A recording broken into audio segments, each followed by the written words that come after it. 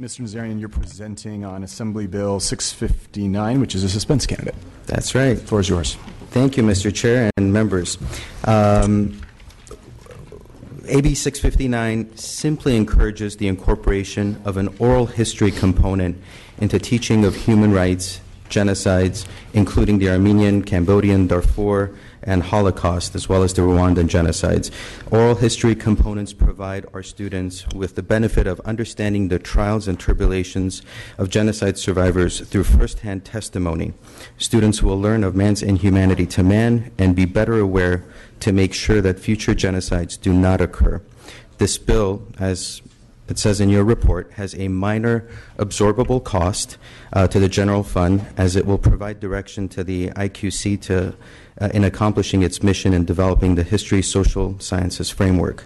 Uh, Governor's January budget proposes 270,000 to support the work associated with the adoption of the science and history social science framework. And with that, I uh, respectfully ask for your aye vote. Thank you very much. Do you have witnesses in support?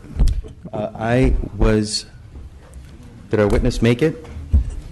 Uh, Our witness was speaking to staff on this issue to find out Okay. what the issues were related to it. So he's not here right now. Okay. Are there witnesses in opposition? Uh, Finance?